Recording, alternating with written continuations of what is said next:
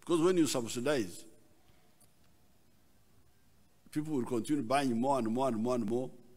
What most people hoped to be an answer to their immediate challenges due to the prevailing global inflation turned out to be a call for national realignment to achieve middle and long-term goals that put the country in a better position to address similar economic challenges. It's tempting to compare to do what other countries are doing. But as we say in matters of the economy, in matters of crisis and situations like this, each person must look at their resources because you don't want something that you cannot sustain. You don't want to start on something or, revo or revoke something that you should have kept along. But in moments like this, they require adjustment. Now, unfortunately, quite a number of people want to maintain the status quo. So they want the president to speak to them in a way that will restore the equilibrium they had. Those days are gone. We all have to move to the next uh, level of adjustment. But that painful process of adjustment, we must face it. In his speech, the president made it clear that he is against price caps and subsidies, saying that these measures risk heightening the inflation further.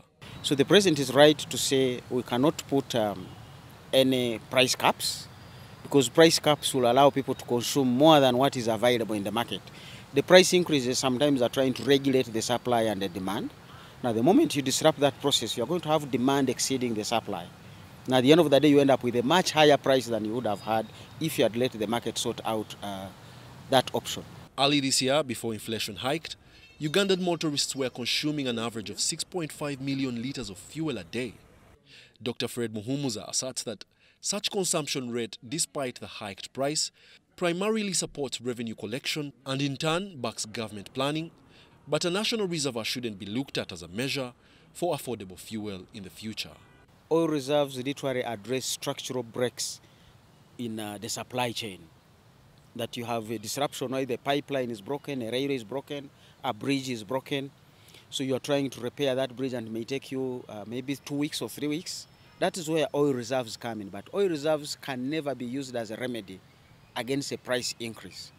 And even if Uganda was to get its own oil, it will still have to play by the international standards of the oil uh, supply system. And our oil is not that much. On the contrary, he notes that it is important for government to prioritize creating more quality jobs to cushion the biting effects of heightened inflation and ease the potential security threats in such times. So I want to believe Ugandans out there have already taken uh, steps and if there is anybody who hasn't, that person needs to hit the president's message.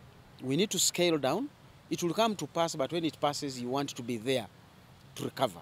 The things we need to readdress as a country is the too much emphasis on manufacturing and industry. Driving everything towards manufacturers and industries. They will need a market. And that market has gone, only come from households. A lot of our households are in agriculture. We have not sorted out a number of issues in agriculture.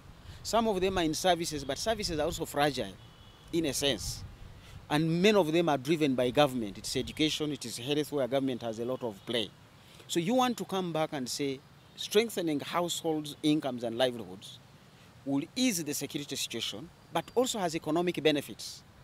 As it stands, the public has been advised to cut back on expenditures that are not directly linked to the basic needs like food, water, shelter and mobility until the situation normalizes.